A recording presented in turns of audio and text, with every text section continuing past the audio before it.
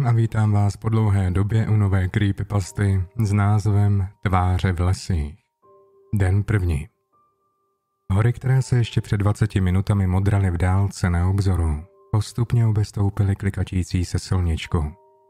Autobus minul poslední domy a ponořil se do tmavých stínů lesa. Údolí, kterým autobus jel, se zúžilo. Silnice příkře stoupala. Klikatila se podél dravé horské bystřiny. Nad vodní hladinou se tetelily obláčky raní mlhy. Větřík je postupně roztrhával a unášel mezi kmeny stromů. Sledoval jsem je až do chvíle, než se rozplynuli v přítmí lesa. Lesy byly tak husté. Smrkové houštěny tvořily doslova neprostupnou džungli plnou pichlavých větví. Mezi kmeny stromů vládla temnota. Tmavozelené koruny smrků nepropouštěly takřka žádné světla. Rozhlédl jsem se po autobuse. Kromě mě a řidiče zde už zůstala jen postarší žena. Působila jako typická vesničanka z dávných let. Obličej měla ovázaný červeným šátkem a na sobě měla oblečeny dlouhé hnědavé šaty. Vedle ní, na sedadle, ležel proutěný košík. Žena, co si zaujatě četla v časopise, který držela v třesoucích se rukou. Přes bladou kůži vystupovaly modravé spletence žil. Znovu jsem se podíval z okénka. Autobus mezi tím stihl přes most překonat říčku, která se teď klikatila pod kamennou zítkou a hned vedle silnice. Rozjasnilo se. Mé oči si už pomalu přivykly stínům lesa a náhle sluneční svit je téměř oslepil. Bolestivě jsem zamžoural. Údolí se rozšířilo a temnota smrkových lesů ustoupila žlutohnědým loukám. Dřevěné ohrady se táhly okolo silnice a zdálo se, že nemají konce. Za nimi se pásla stáda ovcí. Přežvikovaly poslední svěže zelená stébla trav. Svahy okolních hor obklopujících údolí teď místo temných smrků pokrývaly listnaté lesy. Poslední zbytky listů na větvích se leskly ve slunečních paprscích, které korunami probleskovaly.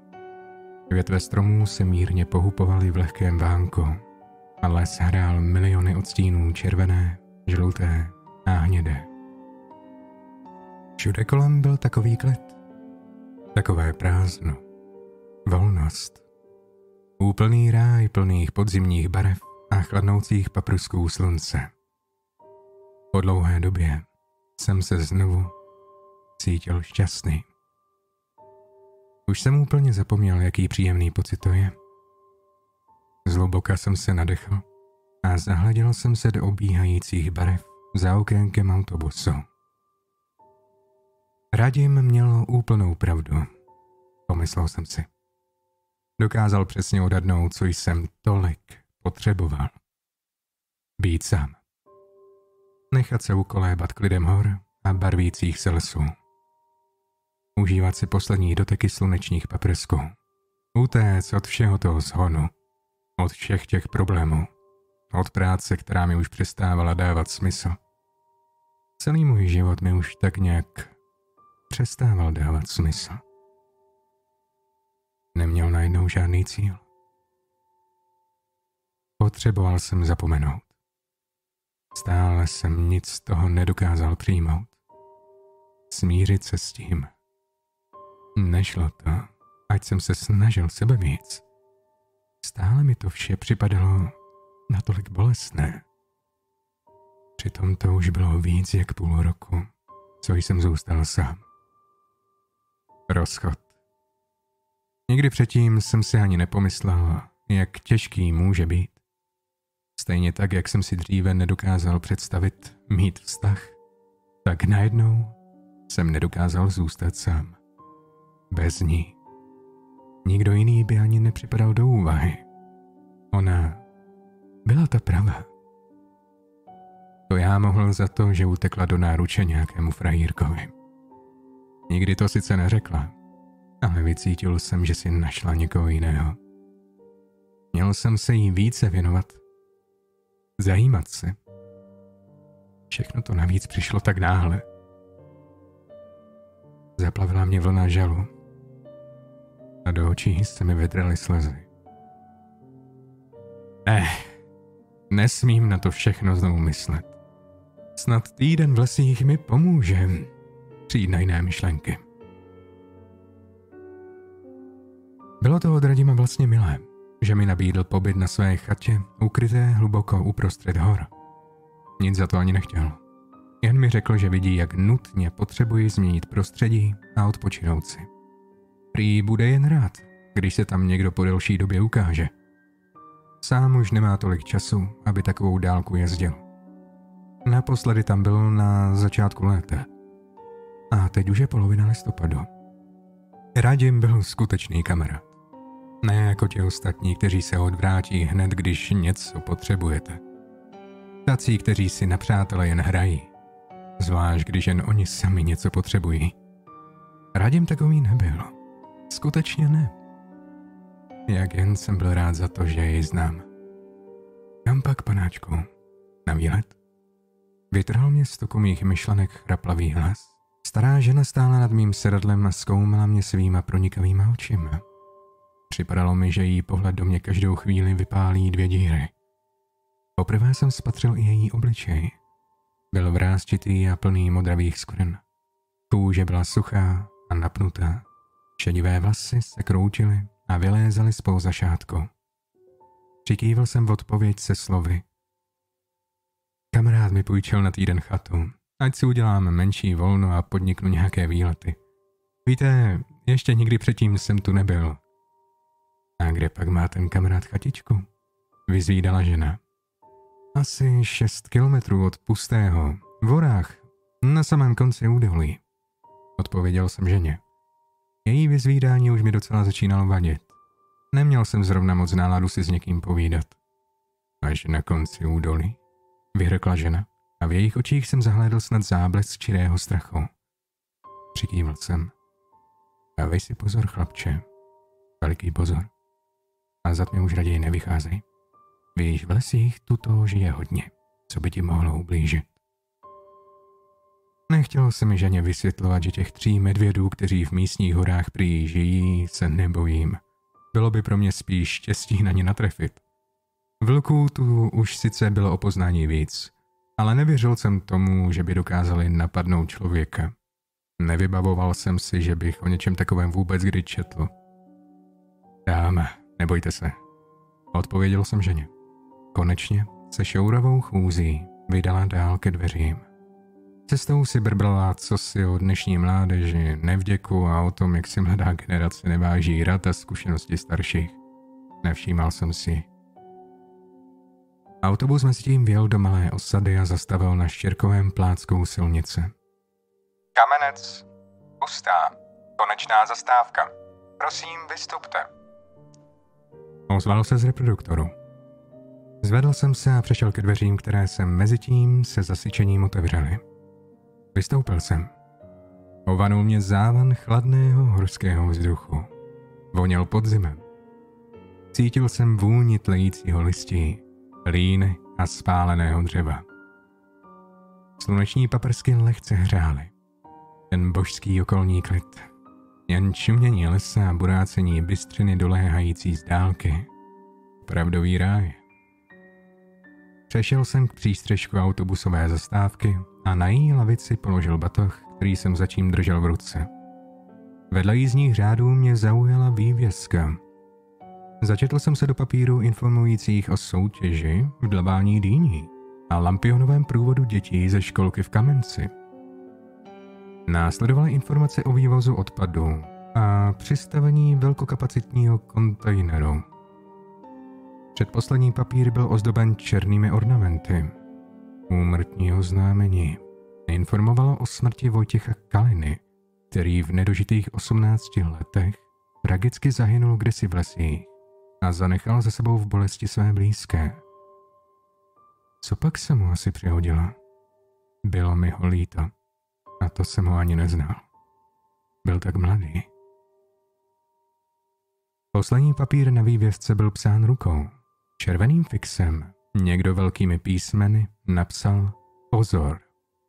Pustil jsem se do čtení. Pozor! Pokud uvidíte tvář skrývající se v houštinách, tak okamžitě utíkejte. Neohlížejte se. Nepátrejte po tom, co se tam ukrývá. Snažte se být do soumraku, co nejdál to půjde. Čím dál to bude, tím větší bude také šance, že přežijete. Nevracejte se sem. Nikdy. Zdejší hory už pro vás nebudou bezpečné. Pomyslel jsem si, že leták bude asi součástí nějaké strašidelné halloweenské hry určené pro děti. Co jiného to také mohlo být? Pousmál jsem se. Musel jsem však připustit, že myšlenka hry zněla skutečně nápaditě. Podíval jsem do mapy. Osada, ve které autobus skončil, byla malá. Jen pár domů umístěných okolo silnice. Štěrková silnička klesala zvolna k burácejícímu potoku. Kolem ní stály prastaré dřevěnice s tmavě hnědými trámy a spárami vyplněnými mechem. První z domů měl otevřené dveře. Za nimi v chodbě jsem zahlédl mizet ženu, která společně se mnou cestovala autobusem. Štěrková cestička za posledními domy končila klenutým můstkem vedoucím přes valící se říčku.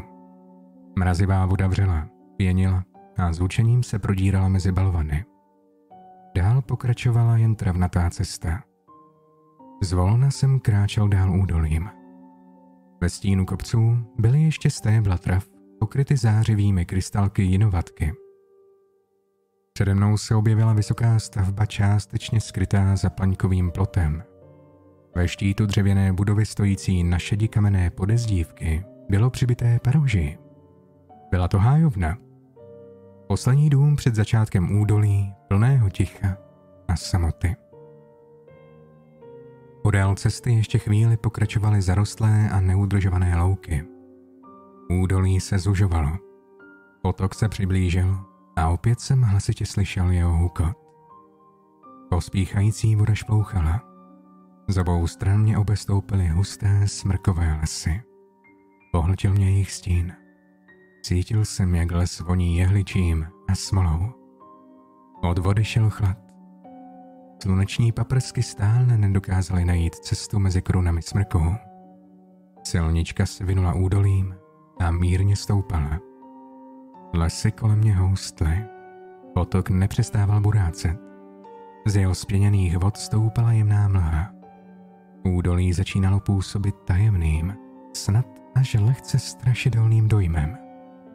Možná za to mohly i ty tři stromy, které jsem před pár okamžiky minul. Rostly těsně u okraje silničky. Jejich kořeny nadzvedávaly kamínky a hlínu tvořící povrch cesty. Tři prastaré stromy. Možná spíše jejich torze. Museli pamatovat už mnohé. Černé kmeny každého z nich byly duté a plné dutin. Černající se díry do nitra stromů připomínaly šklebící se obličeje plné zloby. Větve vycházející z kmenů vypadaly jako pokřivené pařáty, připravené polapit vše živé, co se k něm bude mít odvahu přiblížit. Byly divoce propletené mezi sebou. Zlověsně se klenuli nad cestou. Přestože na nich nezbyl ani jeden jediný lísteček, tak tvořili temný stín. Až zpětně jsem si uvědomil, jak rychle jsem kolem nich prošel. Po dvou hodinách chůze lesem jsem konečně zahlédl cíl cesty. Vynořil se náhle za ohybem. Smrky za potokem přicházely do louky zarostlé trávou. Na okraji louky stála Radimova chata. Odbočil jsem na úzkou dřevěnou lávku bez zábradlí. Pode mnou divoce pádila voda. Rozbíjela se o kameny. Cítil jsem její kapénky, jak dopadají až na můj obličej. Opatrně jsem přešel po vlhkých kládách. Oddechl jsem si, když jsem konečně stál na druhém břehu. Stoupal jsem zarostlou pěšinou. Podzemní slunce už stálo vysoko na nebi a lesnaté stromy kolem potoka zářily barvami. V louce odkvétaly poslední modravé květy chrb a zvonku. Stébla trav zvolna žloutla, uvadala. Smrkový les nad chatou tiše šuměl. Potok za mými zády burácel. Pod mýma nohama poprskávala stébla a šustilo listí.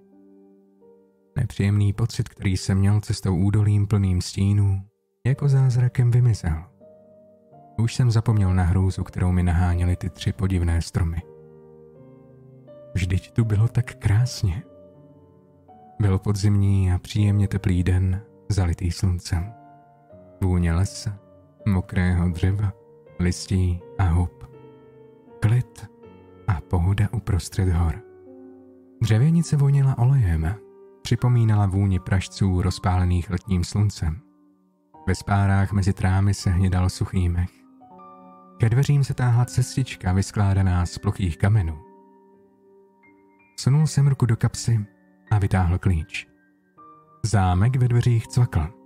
Dveře se se zavrezáním otevřely. Zalila mě vlna zatuchlého vzduchu. Vstupní dveře vedly do tmavé chodby. Prošel jsem po otevřenými dveřmi po levé straně a ocitl jsem se ve veliké místnosti. Byla nahrubo omítnutá a omítka se na některých místech už odlupovala. Dominantou místnosti byla veliká kamna z modravých kachlíků. Kromě nich v místnosti stál masivní dřevěný stůl se čtyřmi židlemi, veliká postel a několik dřevěných skříní zdobených vyřezávanými ornamenty. Místnost měla své kouzlo. Připadalo mi, jak kdybych cestoval časem kdesi do minulosti. Atmosféru nekazla ani žárovka umístěná na jednom strámu. Další dveře vedly do malé komůrky. Malým ušpiněným okénkem plným pavučin dovnitř procházely sluneční paprsky. Byla tu směs všemožného nářadí a starých krámů. Na zdi byla připevněná rozvodná deska, svorkovnice, elektroměr a řada jističů. Jeden z nich byl dole. Zapnul jsem jej. Elektrické obvody ožily. Žárovka na stropě problikla. Kolečko elektroměru se začalo pomalu otáčet. Slyšel jsem zukot proudu protékajícího domem. Za dalšími dveřmi, zajištěnými jen kolíkem, byly schody vedoucí do sklepa. Prudké schodiště klesalo kamennými základy domu a ztrácelo se ve vlhké tmě. Nahmatal jsem vypínač, stiskl jsem jej. Schody zaplavilo žluté světlo žárovky. Sklep nakonec byla jen malinká místnost. Kolem stěn z hrubě opracovaných kamenů stály regály. Na jejich policích leželo pár plechovek a láhví vody. Poslední dveře vedly na půdu. Dřevěné točité schodiště ústělo v spleti trámu. Půda byla plná prachu a pavučin. Okýnky ve štítech pronikaly paprsky slunce. V pásech světla se vířil prach. Na prknech podlahy stály dvě dřevěné truhlice. První z nich byla zajištěna zámkem, druhá se dala otevřít. Kromě zvlhlého oblečení pokrytého plísní v ní ležela také zaprášená kniha. Vzal jsem ji. Hřbetem ruky jsem opatrně otřel její desky a zbavil je tak usazeného prachu. Pověsti hor. Svoukl jsem poslední smítka nečistot a knihu si vzal. Budu mít alespoň po večerech něco zajímavého ke čtení. Byl čas k pozdnímu obědu. S batou jsem vytáhl pecen chleba a uřízl z něj dva hrubé krajíce. Kůrkami chleba jsem vymázával obsah konzervy. Jak lahodná mi připadala. Vždycky jsem to tak měl. Doma mě podobné polotovary připadaly nechutné, ale jakmile jsem si je dopřával někde uprostřed hora, tak se z nich kouzlem stávaly delikatesy. Po jídle jsem se vydal na krátký výlet do lesa nad chatou. Stoupal jsem mezi kmeny stromů až na hřeben hory. Vykácený kus lesa nabízel výhled do sousedního údolí.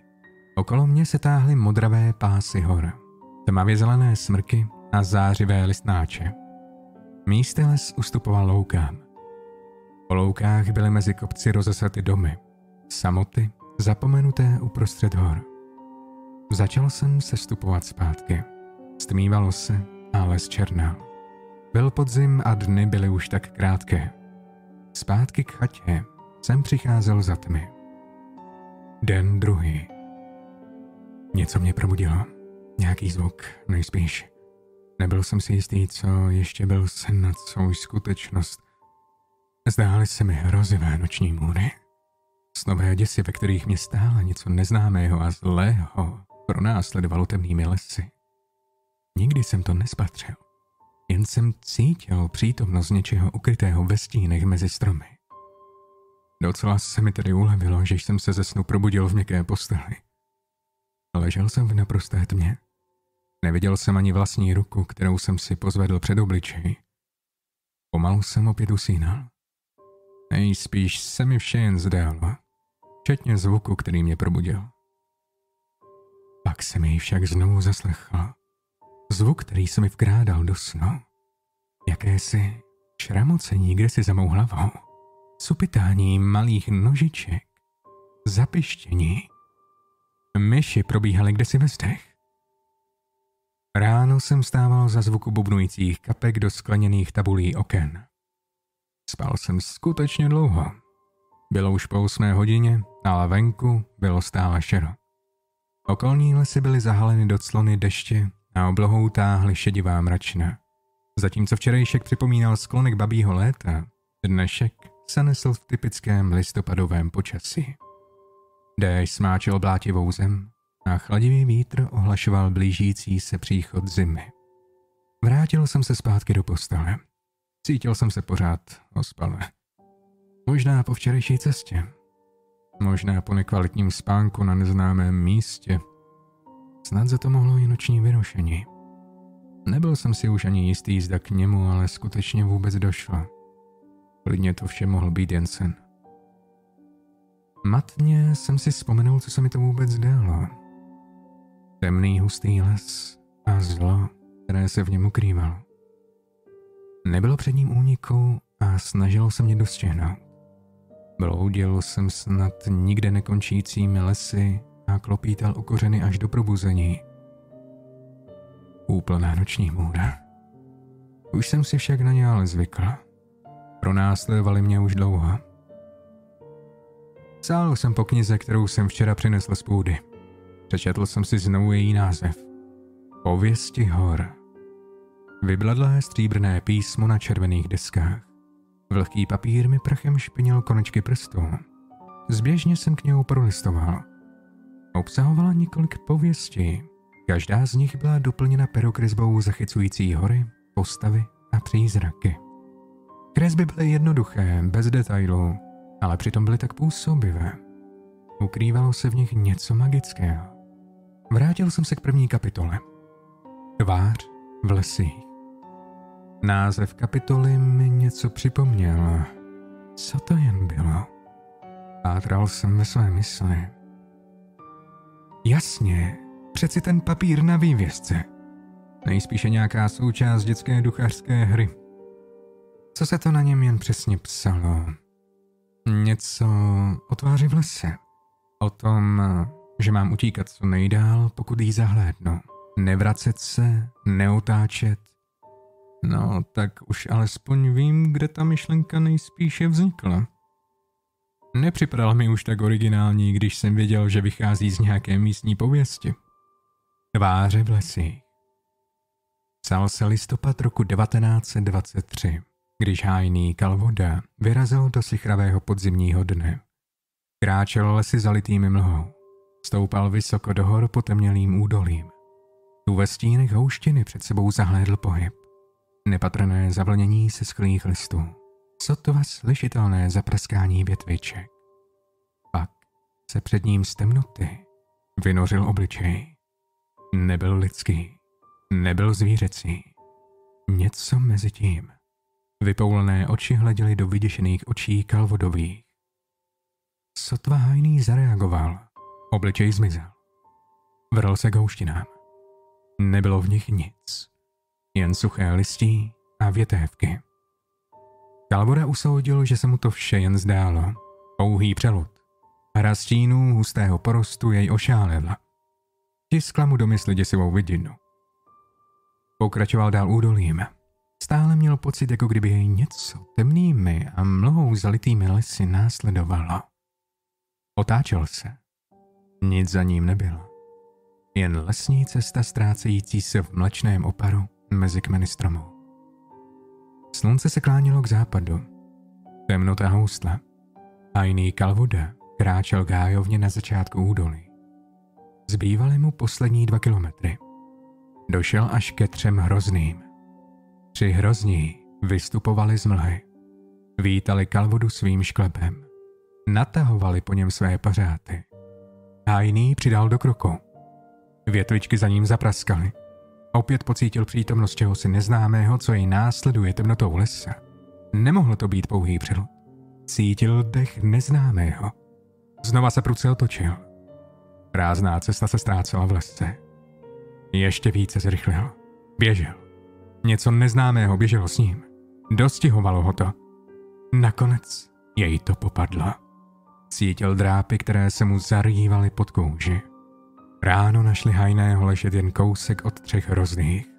Jeho tělo bylo rozsápáno. Ohromné drápy servaly cáry kůže a masa.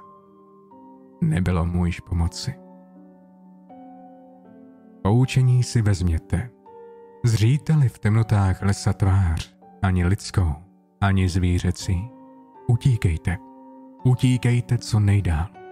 Tak možná přežijete. Nevracejte se. Osud váš je již pevně dán. Je svázán s tajemnými lesy. Hory zdejší nejsou nadále pro vás bezpečnými.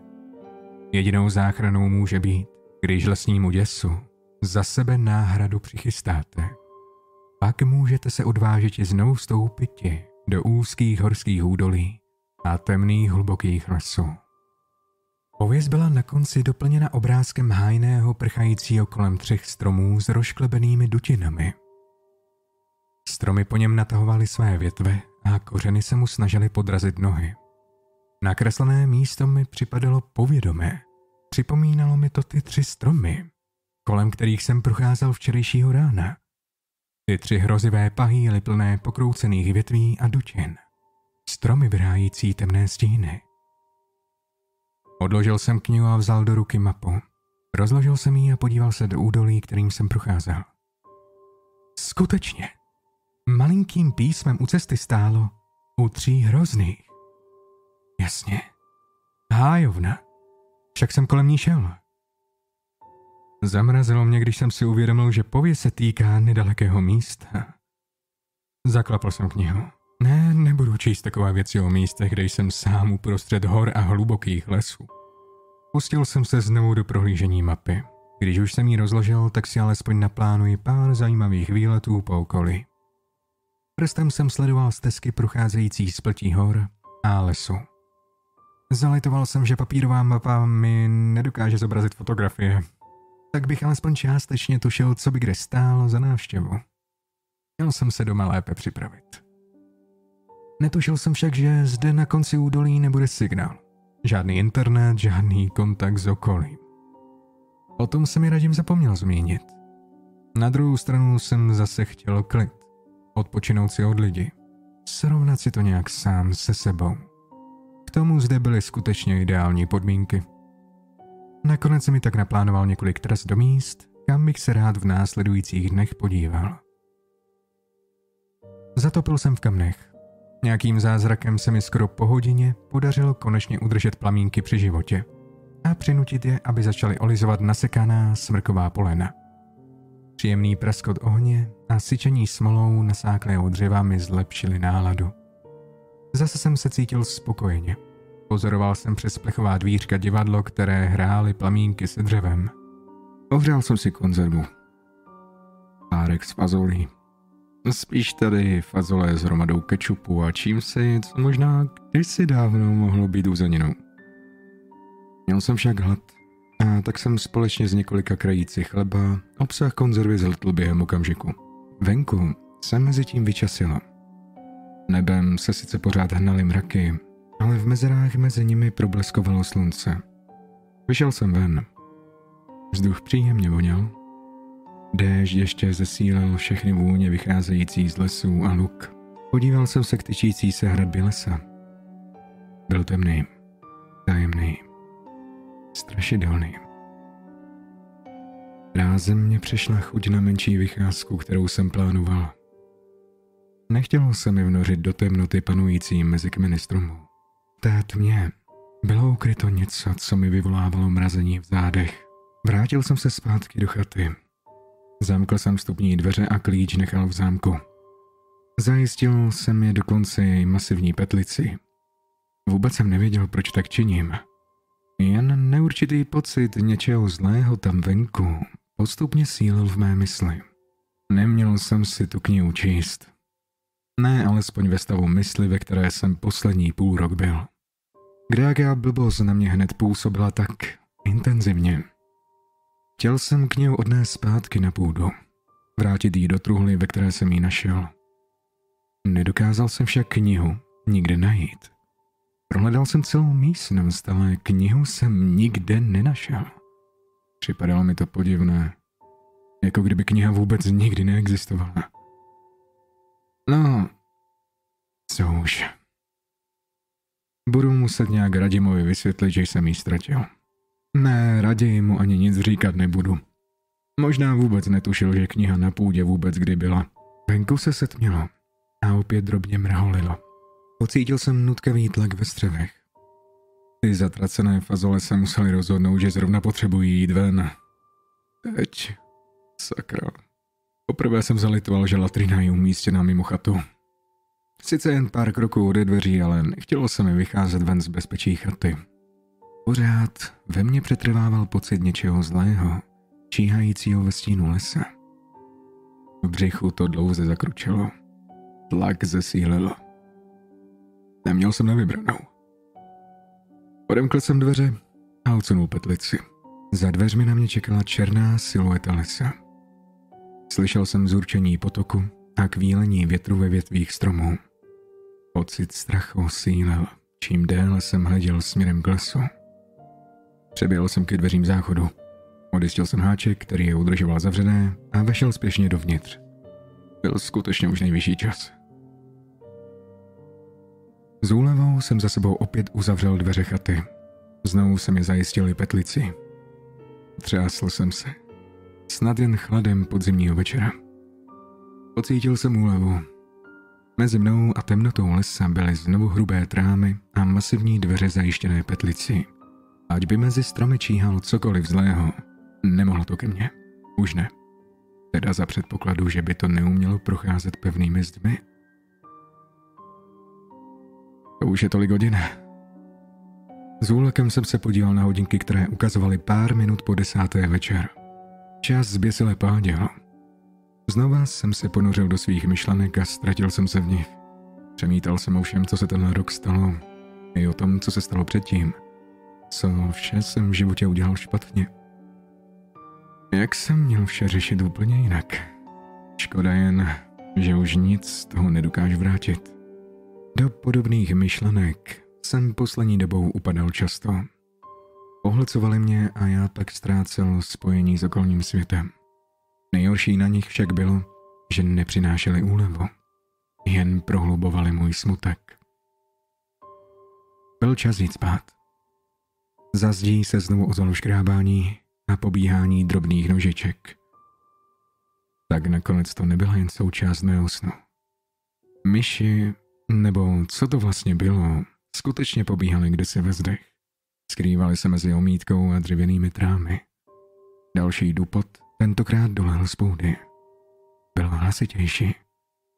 Jeho původce musel být mnohem těžší. Zaslechl jsem zafunění. Co si velikého mi přiběhlo přímo nad hlavou. Z temnoty lesa ke mně dolehlo tajemné zahoukání síčka. Zatraceně ten mi tu ještě chyběl. Houkání síčka. Předzvěst chmurné budoucnosti, neštěstí a smrti. Usínal jsem s pocity plnými smutku a strachu. Už mi nepřipadal pobyt na chatě uprostřed hor jako skvělý způsob, jak napravit svou mysl. Spíše naopak. Den třetí. Vymrštěl jsem se z postele. Zvuk mého výkřiku mi stále dozníval v uších. Cítil jsem studený pot, který mi stékal v pramíncích po těle. Srdce divoce tlouklo. Musel jsem to křičet já. Nikdo jiný tu nebyl. Netušil jsem, co se mi zdálo. Možná to taky bylo lepší. Muselo to být něco hrozného. Další noční můra, která mě přivedla na samý okraj strachu. Od někud z půdy opět dolehl dupot a funění. Přicházel dokonce z více stran. Ať už tam nahoře bylo cokoliv, nebylo to tam samo. Podle zvuku procházejících přes trámy to spolu zápasilo.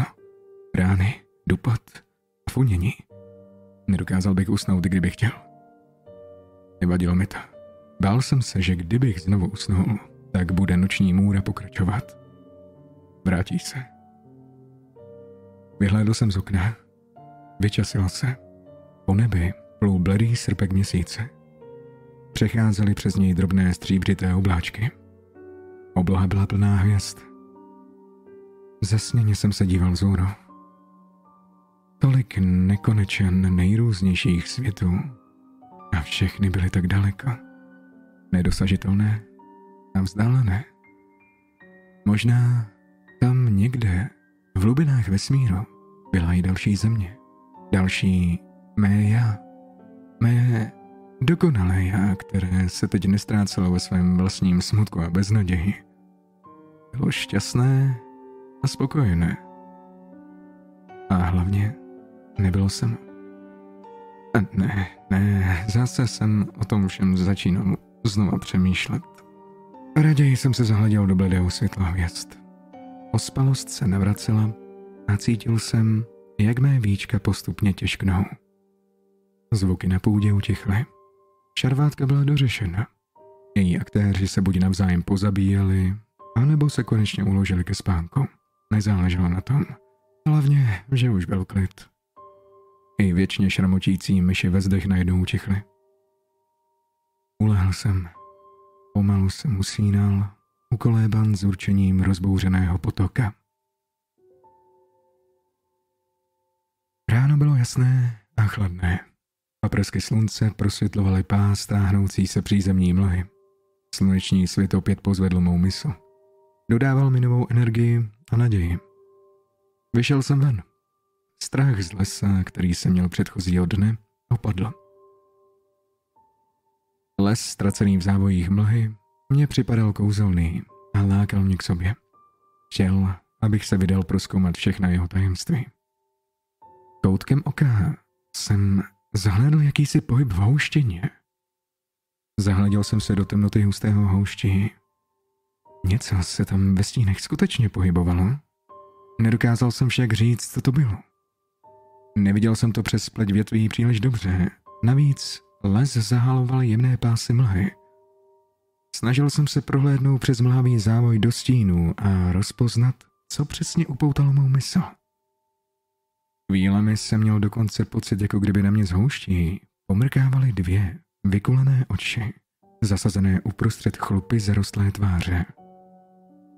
Srdce se mi divoce rozbušilo. Zamrkal jsem a znovu se zadíval do houštiny. Neviděl jsem už nic, jen kymácející se větvičky plné uschlého listi. Král jsem sebou, když se z nenadání ozval praskot větviček. Zřetelný pohyb rozvlnil hlubiny houšti. Každý sval v mém těle se napnul a připravoval se k útěku. Stačilo jen skočit do dveří, přirazit je za sebou a zajistit petlici. Než jsem tak stačil učinit, na louku vyběhla z přítmí lesa srna. Zarazila se. Slunce se zalesklo v její hnědavé srsti. Pohlédla mým směrem a nozdry nasáhla vzduch. Během okamžiku se rozeběhla a zmizela mezi stromy. Vydechl jsem ulevou. Byla to jen srna. Obyčejná hloupá srna. To musel být ten pohyb, který předtím upoutal mou pozornost. Jen má strápená, podrážděná mysl si pak domyslela děsivý obličej či osy ukrývajícího se vouští. Po snídaní jsem se vydal na první z neplánovaných výletů. Malá se již rozpustila a slunce ozařovalo okolní hory. Stoupalo blankitně modrým nebem. Přešel jsem lávku a stanul na cestě, která se klikatila mlhavým údolím. Vydal jsem se dál do hor.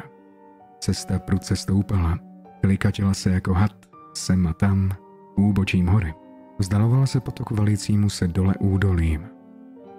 Úkot vody pomalu slábl, až nakonec úplně utichl. Ticho. Jen někde v korunách stromů se chvílemi nesměle ozýval zpěv ptáků. Cesta se ještě několikrát stočila, než jsem stanul na křižovatce cest. Hřeben hory jsem měl na dohled. Překvapilo mě, jak hodně skalnatý byl. Opustil jsem červeně značenou lesní cestu a nepatrnou pěšinkou jsem se vydal přímo ke skalám. Z mechu, trávy a borůvčí se mezi větrem pokřivenými kmeny stromů tyčily rozeklané útvary skal. Vypadaly jako prsty obří ruky, ukryté kdysi v podzemí, které se prodraly na povrch. Jeden, druhý, třetí. Skutečně jich tu bylo pět. Čtyři stály v řadě vedle sebe a pátý menší kousek opodál. Pěšinka procházela přímo dlaní skalní ruky. Nedokázal jsem se ubránit pocitu, že skalní ruka musí každou chvíli se zatnout v pěst a rozdrtit mě svou silou. Nestalo se tak a pěšinka borůvčím mě nakonec bez úhony dovedla zpět na červenou značku. Cesta neustále stoupala a klesala hustými smrkovými lesy, které chvílemi přicházely do červenohnědě zbarvených bučin. Takřka holými korunami stromů prostupovalo slunce. Šedavá kůra buků se leskla ve slunečních paprscích. Lesy zanedlouho ustoupily loukám s roztroušenými chalupami. Přede mnou se otevřel daleký výhled. Tři pásy modravých hřebenů hor. Za nimi dlouhé roviny, ukryté vraním oparu. Linky řek se leskly, klikatily se krajinou měst, polí a lesů. Na samém obzoru se tyčely vysoké komíny. Stoupaly z nich oblaky kouře postupně splývajícího s mlžným oparem. Odpočívadlou cesty tvořil dřevěný přístřešek. Ukrýval se ve stínu lesa. Jevil se jako ideální místo pro odpočinek a lehký oběd. Lebem jsem vyjedl jednu z paštěk.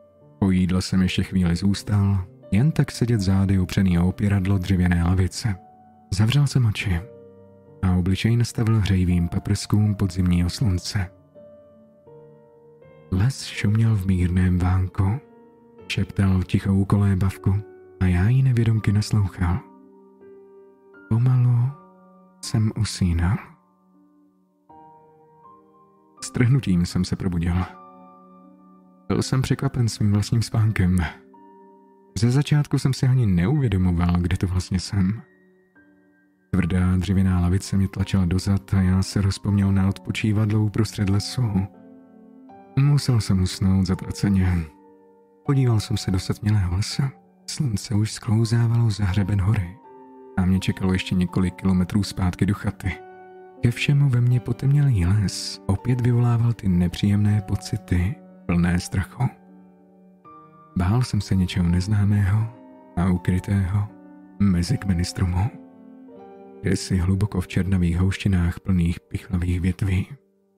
Spěšně jsem se vydal dál, tentokrát po žluté značce odbočující z řebene. Přikrá kamenitá cesta mizela v hustém lese. Kameny sklouzávaly pod nohama a valily se přikrým svahem dolů. Les kolem mě stále husto. Bučina přecházela do porostu tvořeného nízkými smrčky. Cesta se zužovala a za chvíli se z ní stala jen nepatrná pěšenka. Prodíral jsem se smrkovým houštím a nedokázal jsem se zbavit pocitu, že mě stále něco potemnělým lesem následuje. Několikrát jsem se otočil. Nic za mnou však nebylo. Jen pěšina stoupala za mými zády smrkovým mlázím a ztrácela se v zelenavém přítmí stromů. Pocit přítomnosti něčeho neznámého však stále zesiloval. Už to nebyl jen pocit. Slyšel jsem lámání větviček a našlapování čehosi, ukrytého ve stínu lesa. Muselo to být už jen pár metrů za mnou.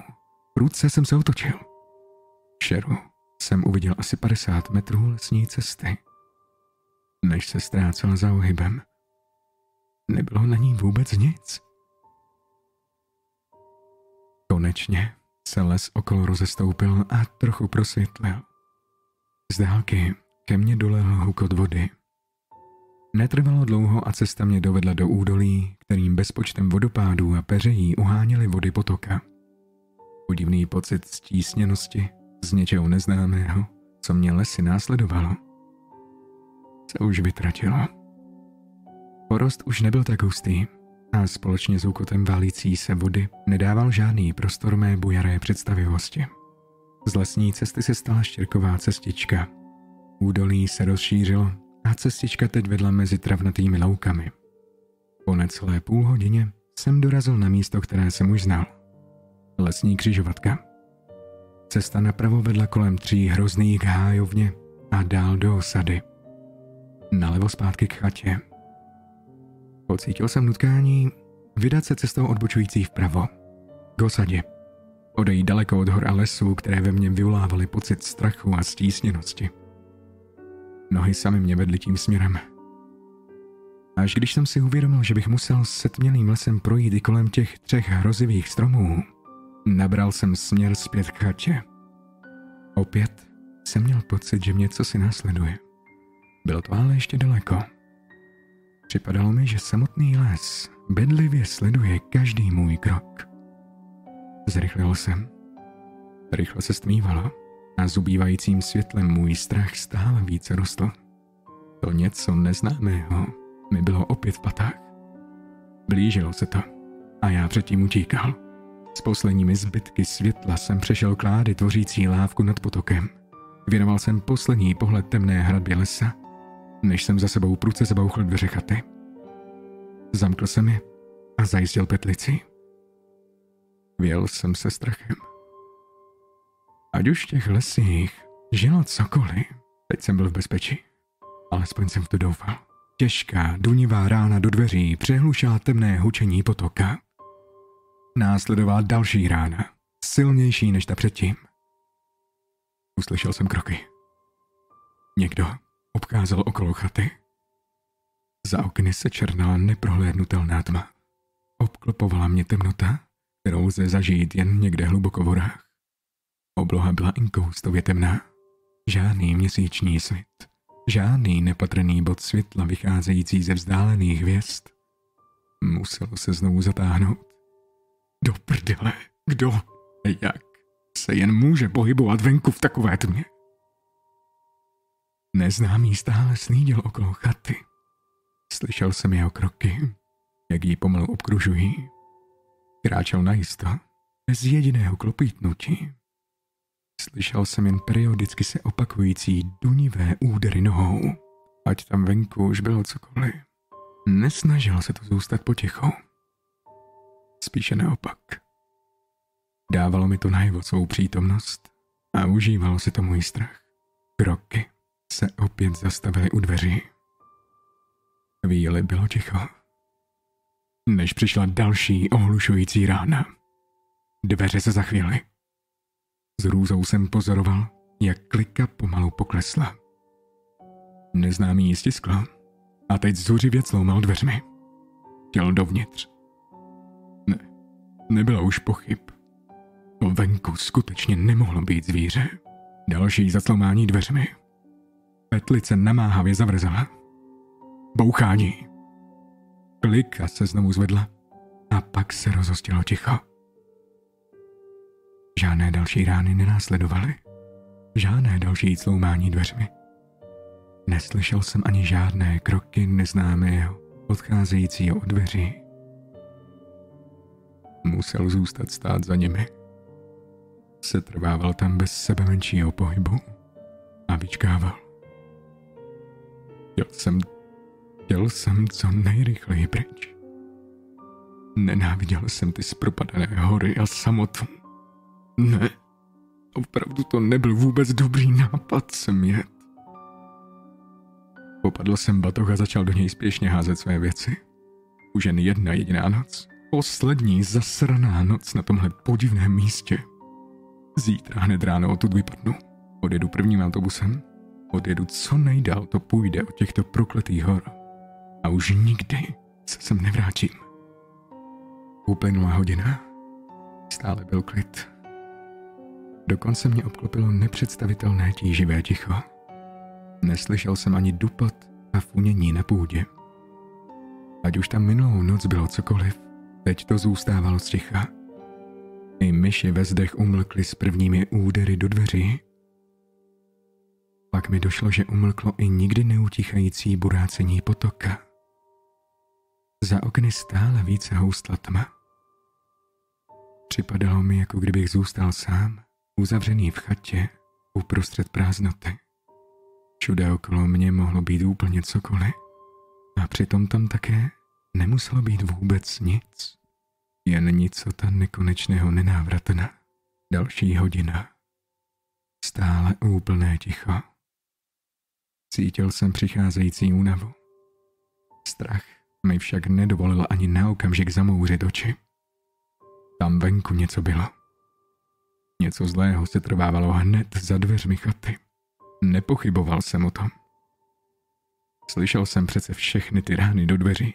Viděl jsem pohyb kliky a třesoucí se dveře v zárubních. Ne, nic z toho nemohly být jen mé představy.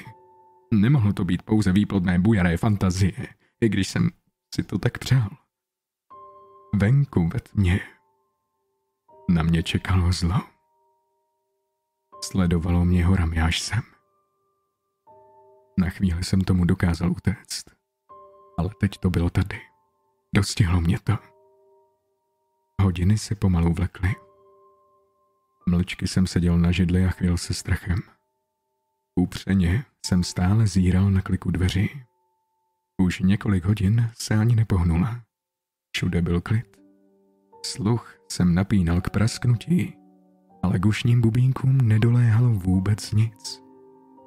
Hrobové ticho. Ticho, které jsem tu nikdy dříve nezažil. Nemělo tu být takové ticho.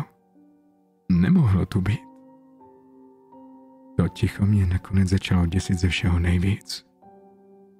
Mé ruce si nervózně pohrávaly se sekerou, kterou jsem si vzal z komory s nářadím. Žárovka u stropu zářila žlutavým světlem. Zaháněla všechny přízraky, přicházející ke mně ze tmy okolních lesů. Den čtvrtý. Probudil jsem se, když mi ruka zavadila o dřevěnou násedu sekery. Děkoval jsem Bohu, že jsem se dožil svítání. Musel jsem přeci jen nakonec usnout. Únava musela být nakonec silnější než strach. I když jsem spal, nepřipadal jsem si vůbec odpočatý. Spíše jsem si připadal jako po nočním flámu. Tělo mě bolelo, jak jsem skroucený usnul na židli. V ústech jsem cítil kyslou pachuť. Hlavu jsem měl stěžklou. Nechtěl jsem v horách být už ani jednu minutu. Venku však stále ještě panovalo přítmí a já neměl odvahu vyjít ven do setmělých lesů. K mé veliké úlevě se slunce brzy prodralo skrz mraky. Pozvolna se překulovalo přes hřeben hory. Zlatavá koule zaplašovala tmu a dodávala mi odvahu. Sluneční paprsky vykreslovaly divuhodnou scénérii v šedavých mracích a mlze táhnoucí se údolím. Nic z toho mě však nezajímalo. Nedokázal jsem si vychutnat to dechberoucího představení, které mi podzimní ráno chystalo. Šlo to. Konečně se rozhodnělo natolik, že jsem měl odvahu opustit chatu. Hodil jsem těžký batoh na záda a přešel nerozhodně ke dveřím. Už jsem se chystal odsunout petlici a otočit klíčem zámku, když mi to došlo. Než jsem usnul, tak jsem neznámého neslyšel odcházet. Celé hodiny tam musel stát. Bez hnutí. V naprosté tmě. Mohl tam pořád ještě být. Co když tam ještě pořád za dveřmi trpělivě čeká, než se odvážím vyjít ven? Určitě tam na mě někde vyčkává. Čeká, až otevřu dveře a poruším tím neproniknutelnou bariéru, která nás odděluje. Znovu jsem se zachyl strachem. Přešel jsem k oknu a snažil se z něj vyhlédnout směrem ke dveřím. Okénko však bylo příliš malé a já neměl odvahu jej otevřít a vystrčit hlavu ven. Popadl jsem znovu do ruky sekerou. Stál jsem před dveřmi. Raz, dva, tři. Na tři jsem kvapem odsunul petlici a otočil klíčem zámku. Opatrně jsem dveře otevřel. Ruka se sekerou se mi třásla a já přemýšlel, zda bych ji vůbec dokázal použít. Proužek světla vnikl po otevřenými dveřmi. Nic se nedělá.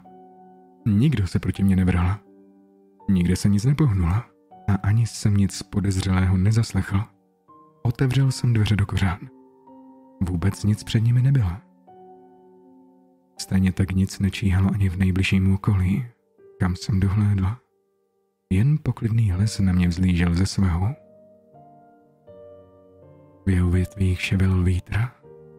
Kmeny stromů prostupovaly cáry mlhy. Slyšel jsem burácení potoka a zpěv právě probuzených ptáků. Někde v dálce tlumaně zaštěkal pes. Začínal nový krásný a poklidný den. Uklidnil jsem se. Sekeru jsem odložil za dveře a zavřel jsem je za sebou. Zamkl jsem. Trávou pokrytou krystalky jinovatky jsem se stoupil k lávce přes potok. Stále jsem se ohlížel směrem k lesu za mými zády. Necítil jsem z něj už nic zlého. Žádnou přítomnost něčeho neznámého a nebezpečného. Už ne. Ale to vše mohla být jen iluze zdánlivého klidu. Nemohl jsem věřit už ničemu. Vlády tvořící lávku klouzely.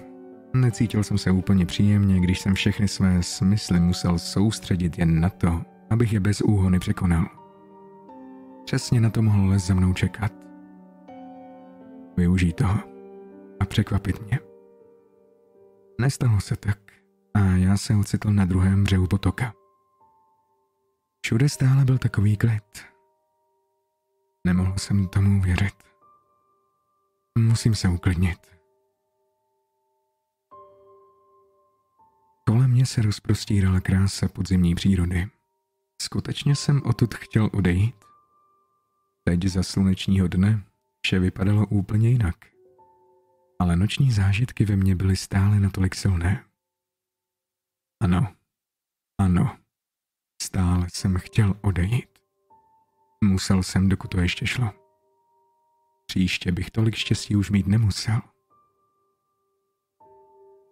Vydal jsem se po proudu potoka. Voda zurčela a unášela sebou spadané listí a jehličí. Šel jsem rychle. Uviděl jsem opuštěný a napůl rozpadlý seník.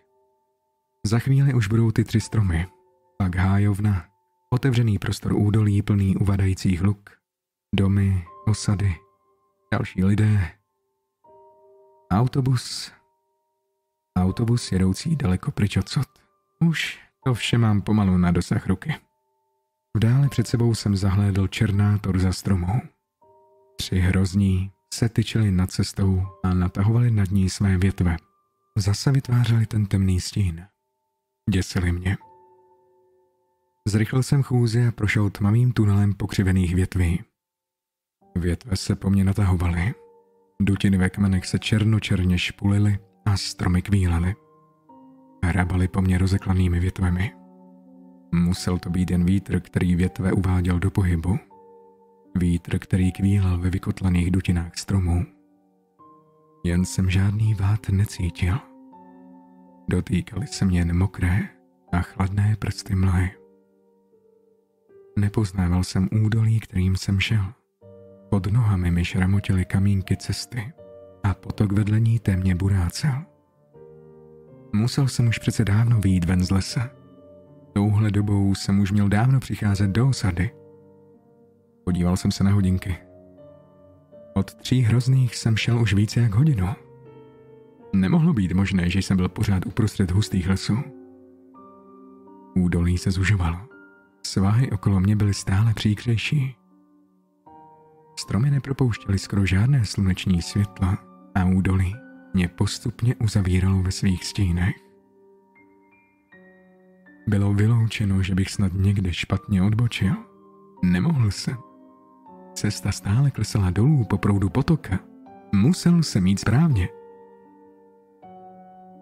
Pocítil jsem přítomnost čehosi neznámého a nebezpečného, ukrytého ve stínech hustého lesa.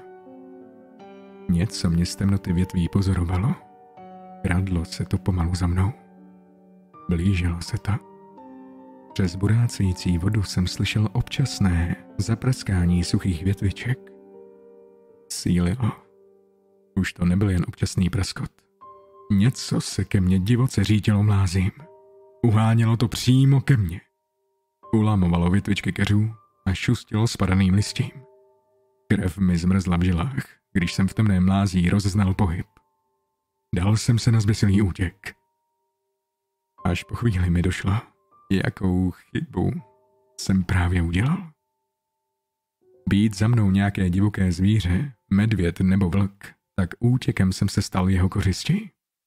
Jen ta utíká. Zastavil jsem se a zaposlouchal se do zvuků lesa.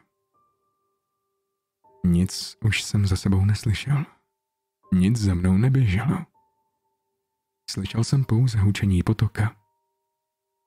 Oddechl jsem si a ohlédl se. Za mnou byl rovný a prázdný kus lesní cesty.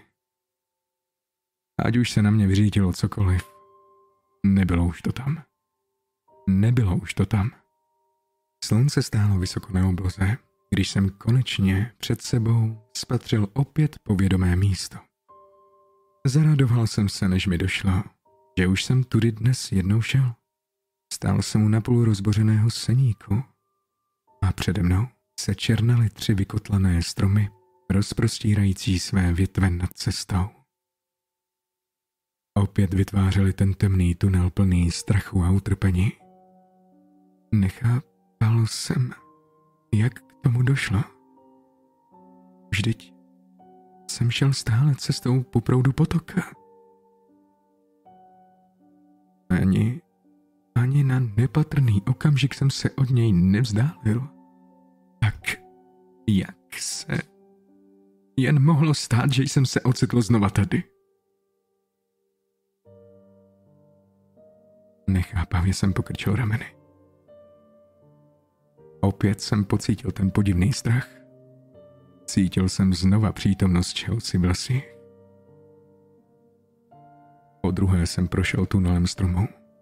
Temnými stíny a hýly větví se mě dotýkaly. Kloupítal jsem přes kořeny, které se náhle zjevovaly pod mýma nohama. Tři hrozní si se mnou hráli, kvíleli. Rozeznával jsem, jak se protahuje šklep v jejich temných dučinách. Znovu jsem se dal do běhu.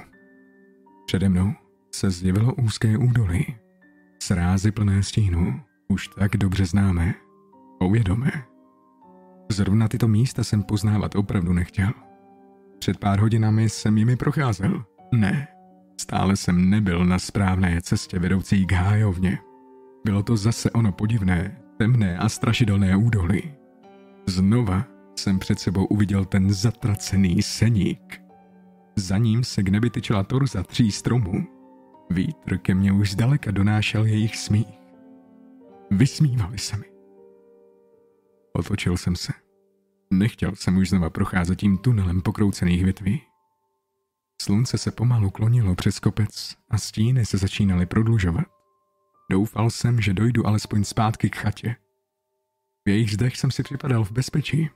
Kvatně jsem spěchal údolím kolem burácivých vod potoka. Až po chvíli mi došlo, že je něco špatně.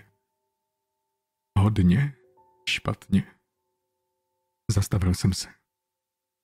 Podíval jsem se dolů do spěněného koryta. Dravý prout unášel listi. Unášel ho směrem, kterým jsem šel. Před sebou jsem v dálce uviděl napůl rozbořený seník. Pavučiny pod jeho střechou se leskly v zapadajícím slunci. Z dálky ke mně opět dolehl výsměch tří hrozných. Motal jsem se v kruhu. Nebylo z něho cesty ven. Mohl jsem jít jakýmkoliv směrem a stejně jsem vždy skončil na stejném místě. Zaplavil mě nepopsatelný strach. Bez naděje a zoufalství. Co, co, co, co se to tady sakra děje? Stíny se začínaly měnit ve tmu. Stíny se začínaly měnit v tmu. A tma houstla. Lesní cestou se za mnou plížilo zlo. Rozeznával jsem jeho dech na svých zádech. Bylo stále blíž. A blíž. Nebylo před ním úniku. Ale stále měnil svou podobu. Nejenom les. Celého Celé hory se okolo mě přeskupovaly a vytvářely cestu bez konce. Nemínili mě nechat odejít. Rozběhl jsem se, i když jsem věděl, že je to úplně zbytečné. Můj instinkt byl ale silnější než má mysl. Neznámé zlo za mnou se rozeběhlo také. Stále bylo jen pár kroků za mnou. Věděl jsem, že tam je. Muselo tam být. Ohlédl jsem se. Prázdná lesní cesta byla plná pohyblivých stínů. Její konec se ztrácel v hostnoucí tmě. Z dálky jsem slyšel hlasitý smích tří hrozných. Znova stáli přede mnou.